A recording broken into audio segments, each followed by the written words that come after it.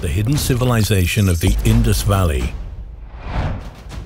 The Indus Valley civilization flourished around 3300 to 1300 BC and covered a large area spanning Pakistan, Afghanistan and India close to the Indus River.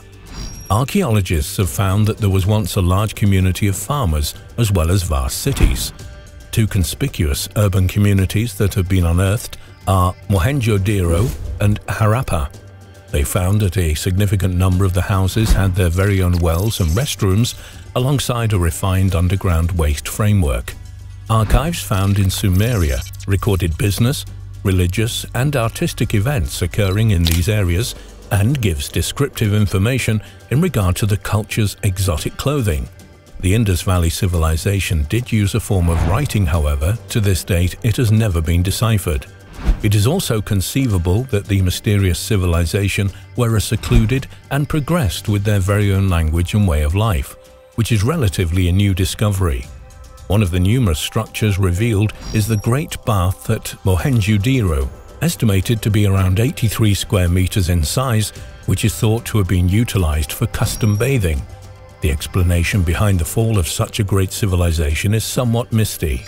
Historical researchers have put forward a number of varied speculations, including a severe drought that dried up the local rivers, huge flooding, trading challenges with Mesopotamia, or an attack by an obscure foe.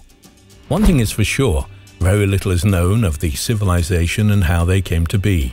Continued archaeological excavations regularly reveal evidence to support an advanced culture that had knowledge well in advance of many other civilizations around the world. As to who these mysterious people were remains unknown. The mysterious kingdom of Aksum.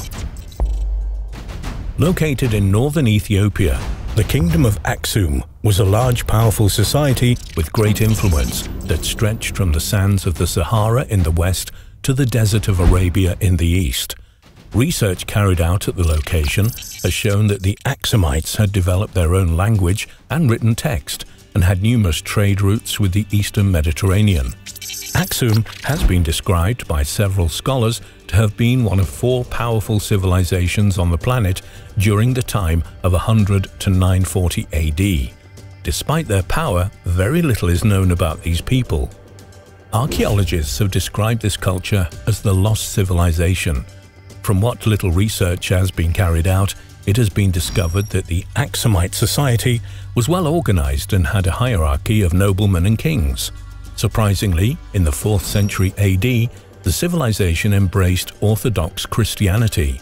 It is written that a Syrian prisoner befriended the king and had converted his religious beliefs.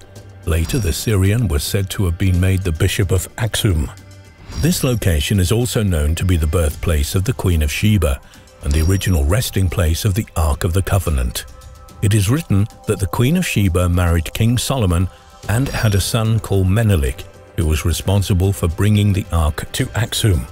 It is said that the Ark of the Covenant now resides in a small guarded church in the area. The ancient civilization of Sanliurfa in Turkey Sanliurfa, located in Turkey, was initially referred to as Urfa and has had a long and checkered history, with numerous religions asserting a fondness for the area. It boasts a number of intriguing archaeological highlights. For example, a small cave said to be the place where the prophet Abraham was born. It was viewed as a noteworthy focus of Syrian culture Situated close to Sanliurfa is the much talked about Gobekli Tepe, where large megalithic stones were cut and organized before the known innovations of metal instruments, and 6,000 years before Stonehenge appeared in the UK. Gobekli Tepe might be the site of the world's most established temple. The stones up to 5 meters tall were organized in circles and each weigh somewhere in the range of 7 to 10 tons. The biggest circle is estimated to be around 20 meters in measurement, and a portion of the stones are carved with pictures of animals, for example, lions, vultures, scorpions, and foxes. It is theorized that civilization would have ventured out from Urfa to the sanctuary of Gobekli Tepe for religious functions. However, to date, no proof has been found to indicate what this included. Studies of the region carried out by archaeologists suggest that there might be upwards of 16 comparable circles. Shockingly, in 2018, inexpert conservation work damaged portions of the site when concrete was poured over it accidentally. Researchers and authors such as Andrew Collins and others have found evidence that the large stone circles were aligned to the heavens. Like so many other ancient sites around the world, and in particular the constellation of Cygnus the mysterious Konar Sandal civilization. Located in the southern part of Iran, in an area known as Jiroft, is the mysterious ancient site of Konar Sandal. During archaeological excavations in 2002, one of the largest and oldest ziggurats was discovered. The terrace temple complex was partially buried in sand alongside two mounds that when uncovered were two two-story buildings with large walls, very much like some form of fortification. Dating from around 2200 BC, this civilization was certainly structured and had a strong belief in religion and ritualistic ceremonies. Historians believe the ancient site was built by Bronze Age people known as the Aratta, which were described in ancient Sumerian writings. However, as to where these people came from remains a mystery. Archaeological excavation specialists believe the Aratta to be an independent, autonomous civilization that had their own language and architecture. Like many unguarded ancient sites, it has become subject to looting and unauthorized excavations. It's not known what treasures may have been discovered. The Aratta people may have created the oldest known language on Earth. Continued research at the site has revealed evidence of a religious order with agricultural, industrial and domestic dwellings. Archaeologists are continuing to discover new treasures in hope of finding out more about this mysterious civilization. The strange Vinca civilization. Considered to have one of the most complex writing systems in the world with around 700 characters, the Vinca civilization often scribed onto pottery. Unfortunately, the writings have never been translated. However, specialists believe their language consisted of letters and numbers. The Vinca people were also known as the Danube Valley people and had an incredibly advanced farming system, making them one of the most intelligent Neolithic cultures ever documented. Discoveries belonging to the Vinca civilization have been found along the banks of the Danube River and are thought to have existed sometime before the incredible human advancements of Mesopotamia and Egypt. The first archaeological proof was found in 1908 at Belo Brdo Hill near Belgrade. The settlements are also thought to have endured over a thousand years before being mysteriously abandoned. Every settlement housed a couple of thousands of individuals in homes made of wattle and clay. They kept livestock and developed crop fields and even had manufactured ploughs to help sow oats. Proof has additionally been found of copper utensils around a thousand years before their general use in Europe, at a location close to Varna where the spectacular Varna gold treasure was found. Dating around 6,500 years of age, it is potentially the oldest gold smithy on the planet. The sudden disappearance of the Vinca civilization is a mystery. However, when they did, they appear to have taken their insight and their developments along with them. Aryan Civilization Around 1500 BC, an expansive gathering of travelers, potentially including the remainders of the Indus Valley civilization, moved to India. It's not known whether this mass relocation was a consequence of escaping from a cataclysmic event or whether it was indeed an invasion. Whatever the reason, another human advancement was conceived on the Indian subcontinent. The Aryan language developed, and the new pilgrims created farming. The Aryan human advancement was generally settled by around 1000 BC. The name Aryan originates from the Sanskrit word Arya, which is what the migrants to India call them. Today, there are minimal chronicled events of this development. However, it is referenced in the Vedas as a collection of religious texts with stories of war and numerous clashes. Unfortunately, there is no way of knowing how exact these writings are. There are only a few remaining artifacts and relics from this period in existence, though archaeological research is progressing on a daily basis. The ancient civilization of Mehrgarh in Pakistan. In 1974, unearthing started at Mehrgarh in Pakistan, but the absence of government interest, perpetual plundering of the site and land erosion has kept Mehrgarh a moderately shrouded human advancement. Also, archaeological investigation of burrows have been made increasingly troublesome by continuous tribal feuds and poor security for those working at the site. The Mehrgarh civilization is one of the most oldest human advancements on the planet, those relics that weren't stolen demonstrate an exceptionally created society with well-established trading with numerous other regions. The civilization is thought to have been in existence around 7000 BC, a huge number of years before the Indus Valley civilization in the equivalent region. The Mehrgarh people are thought to have had a population of around 25,000 and items used in their everyday life are being found, including signs of incredible dental medical procedures. A huge amount of buildings are still covered by earth and sand. Remains uncovered so far incorporate a complex of well-saved structures produced using mud blocks, and they even had a formal graveyard. Nineveh Civilization Mosul in Iraq was once the home of a flourishing ancient civilization known as the Nineveh, what remains of the ancient sites show signs of being significantly damaged by severe earthquakes that took place thousands of years ago. This vast community continued to grow from 6000 to 612 BC. Nineveh was the capital of the Assyrian Empire and enclosed within a huge wall that circled the city.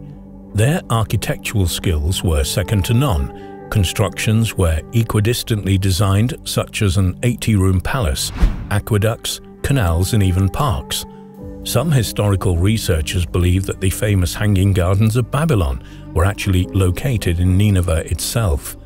The civilization were clearly advanced for their time and had extensive libraries where over 35,000 inscribed clay tablets have been discovered. One clay tablet tells a story of the biblical Great Flood, which swept the lands and drowned the world of man. There was also reference to a great boat that used a dove to find dry land. As you can imagine, such writings reinforce the biblical story of Noah's Ark at least a thousand years prior to its first appearing in any Hebrew Bibles.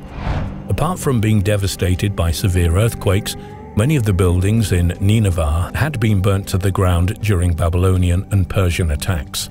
Nineveh was first excavated in 1846 and continued archaeological work occasionally discovering incredible artifacts. The hidden Norte Chico civilization The mysterious pre-Columbian civilization in Peru was seemingly the oldest society in the ancient Americas. The people of Norte Chico had mastered huge constructions, some of which consisted of pyramids and water distribution across the city. Very little is known about this civilization apart from the amazing architectural abilities. Over the last 30 years, archaeologists have discovered six pyramids to date. The largest is known as Pyramid Maya. In spite their wonder, they are not as detailed as the later Inca designs. Norte Chico settlements were situated north of Lima, and surprisingly the people were one of a few ancient civilizations that appear to have created any form of pottery. According to scholars, the Norte Chico civilization did believe in some form of god or gods, but unfortunately any evidence of writings are yet to be found. It is unknown why at around 1800 BC, the Norte Chico mysteriously abandoned their homes and fled. No evidence has ever been found to suggest they were involved in any conflicts. Some have theorized their sudden departure was a result of a natural disaster or great drought the mysterious Nubia civilization. This ancient civilization once ruled Egypt and was located in the south, close to Sudan, and surprisingly had its own pyramids. Though considerably smaller, there were over 200 of them scattered throughout the ancient city, many of which can still be seen standing today. The kingdom had its very own composed language and culture, and were wealthy in gold. The Nubia civilization had their own images of authority, yet their impact was over when Pharaoh Sneferu assaulted Nubia. Though it was a long way from being a place that is known for status, it turned into an area of Egypt under the pharaoh's control. the Nubian individuals to a great extent were absorbed into the Egyptian population. However, archaeological proof of their progress remains. Like the Egyptians, they produced pictures of themselves. However, they did on occasion depict themselves as overweight, which is profoundly unusual for any Egyptian images of that time. The Roman dodecahedrons these hollow Roman dodecahedrons, made of stone and bronze, have sparked much debate as to what they are. There have so far to date been approximately 100 of them discovered. These amazing constructions consist of 12 sides, each with a small circle on each, and each corner has a protruding pega. Archaeologists and scholars have for many years pondered what they could be. Some have suggested that they're nautical devices, candle holders, astrological tools, religious objects, agricultural equipment to help sow seeds, and even an item used to calibrate water pipes. In all, no one really knows for sure what they are. It's also been speculated that the mysterious objects weren't Roman at all, and in fact religious relics taken from the Druids during the Roman invasion of Britannia and Caledonia. The Devil's Bible Known as the Codex Gigas, the Devil's Bible is a monstrous medieval tome, written in the 13th century by a priest who was said to have made an arrangement with the devil so as to complete it. As per legend, the priest has been condemned to be walled up alive as discipline for breaking his promise to God. The book is said to be manufactured from over 160 creature skins and requiring two individuals to try and lift it. The Codex Gigas contains the total Latin interpretation of the Bible, along with therapeutic equations, messages on expulsions, and an extensive delineation of the devil himself. Twelve pages of the first original copy are mysteriously missing, and they may have contained startling information. The book is said to have a full-page image of Lucifer, the fallen angel, which gives the book its nickname and its sinister reputation. The devil is shown crouching, as if ready to jump out of the page with a green face, small red eyes, red horns, claws, and two red tongues like a serpent. Rumours suggest that the pages contained mysterious satanic writings and the technique for conjuring the devil himself. The Sajama Lines The Sajama Lines in western Bolivia are a progression of monstrous illustrations scratched into the earth numbering into the thousands. They were first discovered in 1932 and are 3 to 10 feet wide and cover a vast area of 8,700 square miles and seemingly make up a web-like plan. They have been listed as the largest archaeological discovery in the Andes and may in fact be the largest in the world, dwarfing the known Nazca lines in comparison. Scientists are baffled as to what they represent. Researchers have concluded that they were initially made by the indigenous individuals who lived close to the volcanic region known as the Sajama Spring, an expulsion of gushing lava, however, for no good reason.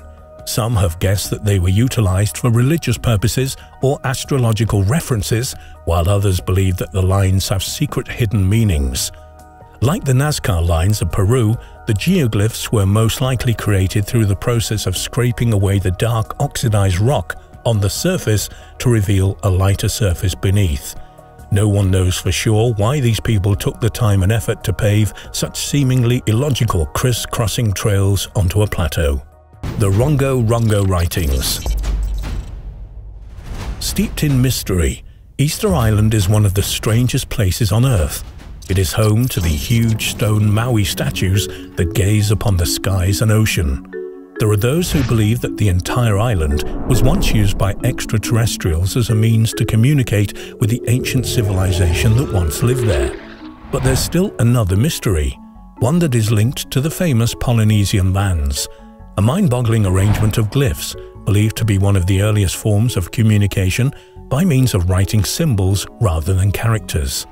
First found by Eugène Eyraud in 1864, the glyphs are said to date back to around 1200 BC and include symbolism like that of different religious signs found throughout a large area.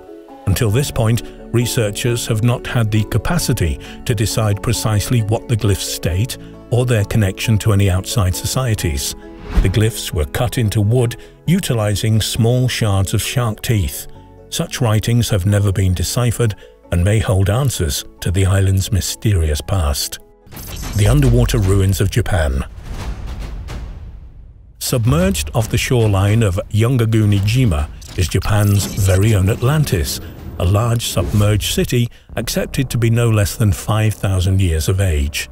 First found by a diver in 1955, the city was at first thought to be just an odd arrangement of bizarre-shaped rock formations, all of which strangely included flawless right-angle points and straight lines. Later discoveries uncovered everything from a huge stone passage to cut stairways and lanes to vaulting towers. The Japanese government does not officially accept the discovery as an ancient site, it has become known as the City of the Jomon. Individuals, specialists speculate that the city didn't actually fall into the ocean like the famous Atlantis stories, but rather ended up submerged as ocean levels ascended over thousands of years. Divers have also identified quarry marks in the stone, rudimentary characters etched onto carved faces, and rocks sculptured into the likeness of animals. One such example is that of a sphinx that resembles a Chinese or ancient Okinawan king. As researchers keep on examining the submerged site, many trust this specific site could hold key data to other hidden submerged communities around the globe. Laos Plain of Jars In the northern Xieng Khouang territory of Laos, an unusual gathering of vast round items litter the countryside. These mysterious stone cylinders are accepted to be more than 2,000 years of age. They received relatively little Western attention until the 1930s, when a French archaeologist by the name of Madeleine Colani began surveying the area. Though there were reports that the cylinders had items with them such as carnelian beads, jewelry and axes, the site was mostly looted by the time Colani arrived. The mysterious cylinders found at the location, known as the Plain of Jars, are thought to have some connection with an antiquated burial service ceremonies. These mysterious constructions are made of sandstone and weighing something approximately a ton each. These items are in a region which endured significantly during the American Secret War. Many of the cylinders were broken and damaged by rockets. No one really knows for sure what the cylinders were used for, only that they are extremely old. Today, visitors are not permitted to enter these locations and they're guarded by high fences. The mysterious giant stone spheres. Huge stone spheres in Diquís Delta, Costa Rica, have been baffling archaeologists for many years. They were first discovered by the United Fruit Company whilst cutting down jungle to make way for fruit trees. These mysterious stone constructs are perfectly spherical to the millimetre and range in size up to 2 metres in diameter and weigh as much as 16 tonnes. These spheres are man-made items shaped from the molten stone known as granodiorite. A large number of these structures have been transported to different prominent areas in Costa Rica, as well as purchased by wealthy businessmen. During the early excavations of forest lands in Los Angeles to make way for the railroads, hundreds of spheres were dragged from the ground using cranes and pulleys. In some cases, so many were found that the local Los Angeles newspaper reported them as fossilized dinosaur eggs. To date, the purpose of the spheres have remained unexplained. Similar stone spheres have also been found around the world, in China, Bolivia, Russia, New Zealand and Malta. Perhaps the most unusual one is the sphere of Easter Island. Only one has been discovered inside a stone circle and found at the center of the island. In 1838, while working in what is currently Iraq, German paleontologist Wilhelm Koenig found various clay containers, each concealing an iron bar encased in a copper barrel. Koenig distributed a paper in which he revealed that he had discovered antiquated batteries or galvanic cells.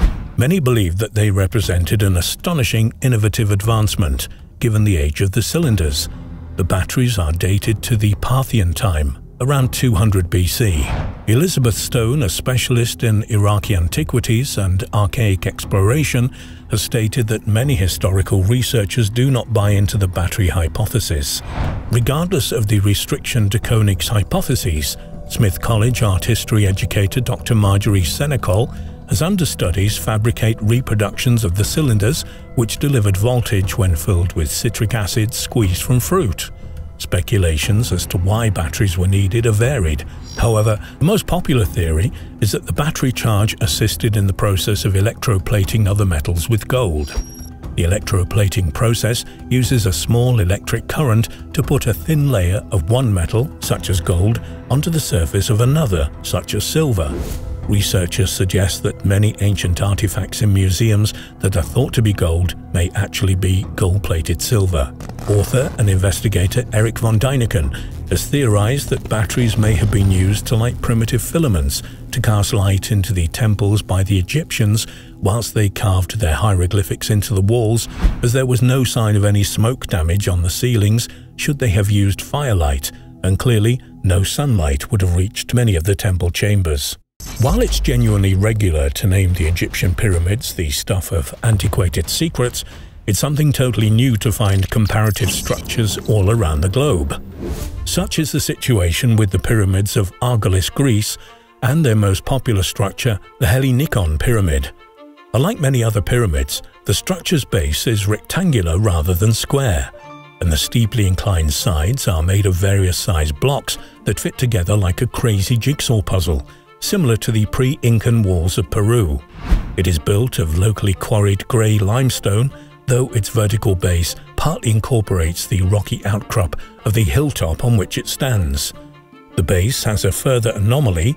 The southeastern corner of the pyramid is replaced by a recess that gives access to a narrow passageway which in turn leads to a doorway. This is the main entrance to a single chamber with vertical internal walls. The room is about 7 meters square, and though its walls do not reach full height, it's clear that the ceiling would have been well below the apex of the pyramid. The genuine reason for the Hellinikon remains obscure. While the riddle of what was inside the Hellinikon is unquestionably captivating, what really interests scholars is the way it was evidently built in 2720 BC, making it altogether much older than any of the Egyptian pyramids. That is, if the Egyptian pyramids have been correctly aged. It's also no surprise to find that the Hellinikon was like many other pyramids, aligned to the stars. The Hypogeum of Hal Saflieni The Hypogeum of South Saflieni was not by any means found until 1902. It has been thought to be a burial place or sanctuary, but as time has passed, it seems to have been used for much more mysterious undertakings. The only preserved example of a subterranean labyrinth architecture in Europe, the Hypogeum was used from 4000 to 2500 BC and consisted of three complex levels cut out of the bedrock with painted walls of ornate design. The most puzzling part of the building is a peculiar chamber referred to as the prophet chamber, in which words spoken at an ordinary volume are enhanced a hundred times and capable of being heard all through the whole structure. The chamber is also precisely tuned to 111 Hz, making it resonate when that specific tone is vocalized. While sitting in the center of the chamber, the 111 Hz can scientifically be proven to heal internal and external wounds up to six times faster. Seemingly, our ancient ancestors had knowledge of sound frequency healing. The Hypogeum remains one of the world's unknown ancient mysteries. Top 10 Legends of the Great Flood Number 10. Baby Rocks The Greek god Zeus was not pleased with mankind. He considered humans to be selfish and worse, they had stopped worshipping him. In his thoughts, this was a complete disaster. He'd originally given the job of creating humans to Prometheus, who had made them from clay, dissatisfied Zeus decided to flood the earth and start all over again. He approved Prometheus's son, Deucalion, and told him about his planned flood. Obviously, Deucalion was rather distressed about the situation, but kindly, Zeus said he'd build him a boat so that he could survive. And, as a bonus, Deucalion could take his wife Pyrrha with him. The flood came, and humanity was wiped out. After the waters had receded, the boat ended up resting on top of a mountain. Zeus instructed Deucalion to throw bones of your mother over his shoulder, and thus recreate humanity. This puzzled Deucalion, but eventually he realized that mother meant the earth and that bones meant rocks. Deucalion and his wife began throwing rocks around which magically turned into babies, and thus all nasty humans were wiped out, leaving only good ones descended from rocks. That's us. Everyone out. What happens when gods go on strike? Answer, it doesn't end well. In ancient times, according to a Babylonian clay tablet, some of the lesser gods were given the job of creating the earth's rivers by digging them out, themselves. After a while, they became rather fed up and went on strike. The chief god, Enlil, decided to create humans to take over the job. He took some clay and the blood of a goddess and assembled us. This arrangement worked well for a thousand years. However, Enlil became irritated Apparently, we were rather noisy, and he commanded Namtar, the god of diseases, to create a plague and wipe us all out. A hero, Atrahasis, after whom the myth is named, was visited by Enki, the god of the sea. He suggested that Atrahasis pray to Namtar, asking him to stop. Luckily, he arranged for everyone to join in his prayers and Namtar became so annoyed by the commotion that he ended the plague. All seemed well, but we carried on being noisy, and Enlil, the original phonophobic, decided to wipe us all out by himself. Drought was his preferred method. Unfortunately, after six years of famine, we resorted to cannibalism. Enki, the god of the seas, tried providing us with fish, but this really annoyed the chief god, Enlil, who decided to wipe out all of humanity with a flood. Enki squealed on him and told Atrahasis and his family to save themselves by building a huge boat and filling it with animals and plants. For seven days and seven nights the rain poured down, and the earth was flooded, and the rest of humanity was drowned. The mother goddess was horrified. She and the chief god, Enlil, had a meeting and a compromise was worked out.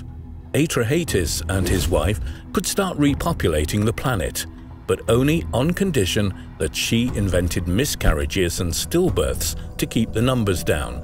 And in addition, she agreed that there could be the occasional natural disaster too. Plagiarism isn't anything new. The famous American satirist Tom Lehrer wrote many exceptionally funny and biting songs. One has the memorable lines, plagiarize, plagiarize.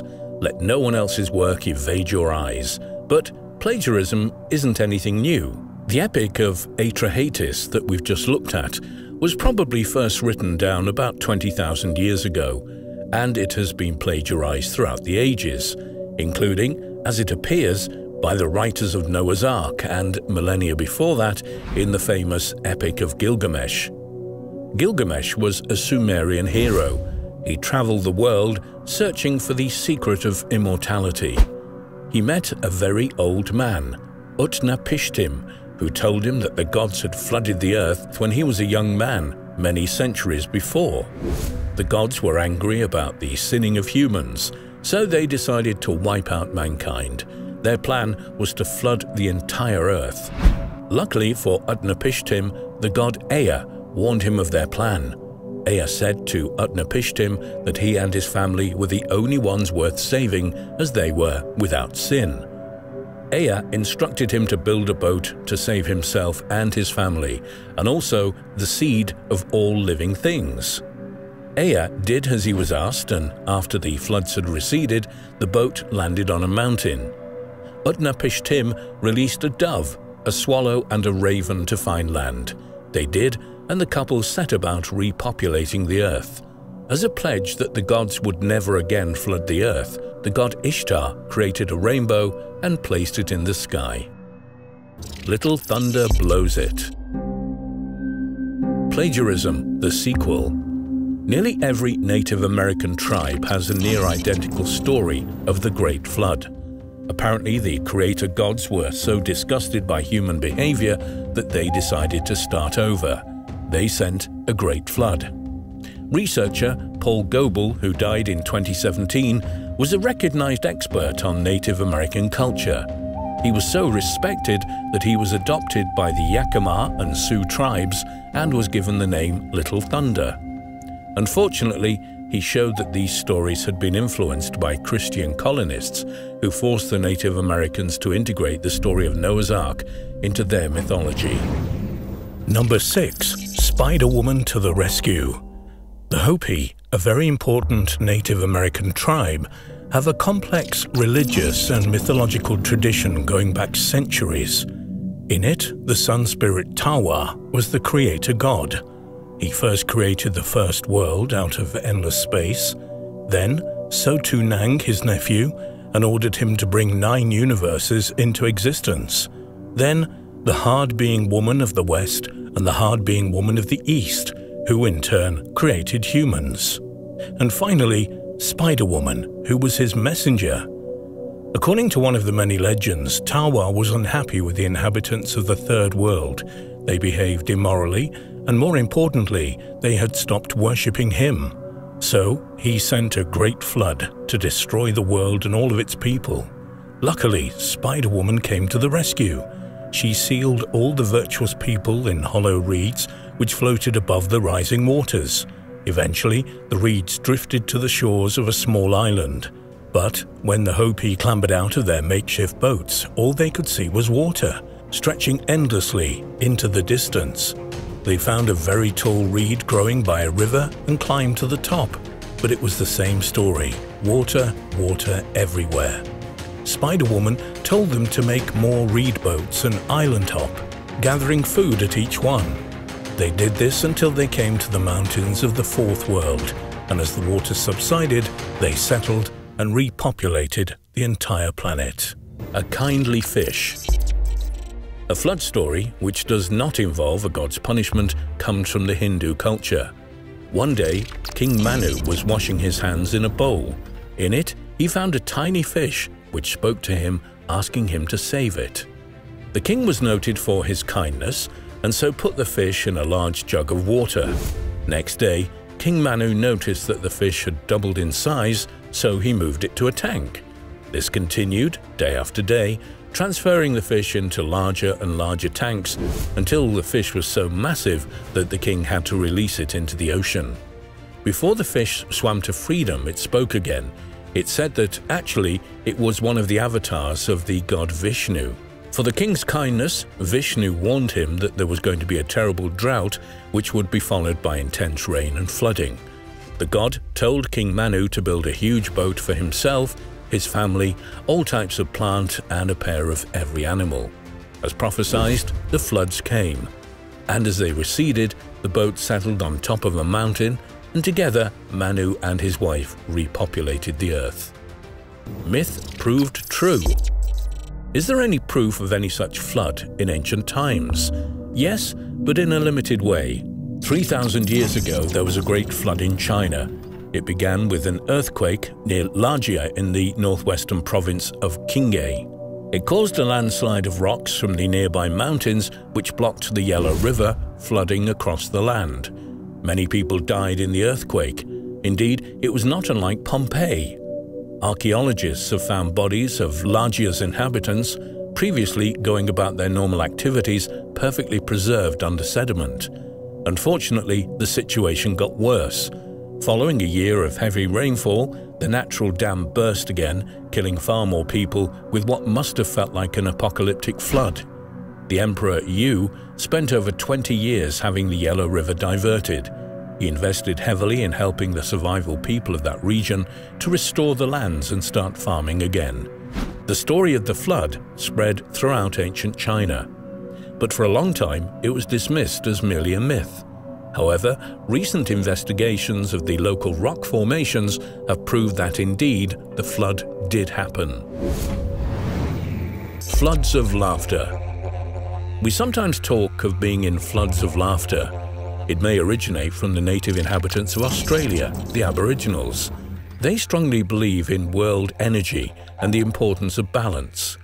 One day, during a drought, a frog, whose name was Tiddalik, was so thirsty that he swallowed all the world's water and caused a drought. An eel, trying to save the world, performed a wriggly dance in front of Tiddalik to make him laugh. He did, and all the waters gushed out. Unfortunately, this flood drowned most of the world's population. A messy beginning. Most of the flood stories are about rainwater. One from Norse mythology is about a flood of blood. According to Norse mythology, Ymir was the first entity to exist in the universe. He was a frost giant. All the other giants descended from him, and all the gods from them. Ymir became evil, and his grandsons, Ve, Vili, and Odin, decided to kill him. So much blood flowed from his corpse that all the other giants were drowned, all but one who had survived by building a boat for him and his family. The grandsons then made the earth from Ymir's chopped up body. The seas were made of his blood and sweat, the mountains from his bones, the trees from his hair, and they used his skull to make the sky, with clouds fashioned from his brains. The brothers then found two logs and made people out of them. One of these humans had two beautiful children who were called Sun and Moon. Unfortunately for them, the gods were so jealous of their beauty that they threw them into the sky. The brothers then invented the rainbow, which they used as a pathway between the earth and heaven. The origin of the mountains. Apparently, hunting isn't much fun if it's too easy. In Filipino mythology, two sons of the great spirit Lumawig complained that hunting was just too easy. They complained that the earth had no mountains or hills that would have made hunting more challenging and fun. So in anger, they flooded the earth using their magical powers. Lumawig was furious that his creation had been destroyed. He looked around the earth and found a brother and sister who'd been stranded on a tiny island. He gave them his dog as a companion and his deer for food. Lumawig then dried out the earth with fire and, to his horror, discovered that his perfectly smooth earth had been sculpted by the torrents of water to form mountains and valleys, but in the end he decided that it looked quite nice that way. Thank you for watching the Universal Top 10s. Please like, share and subscribe to our channel.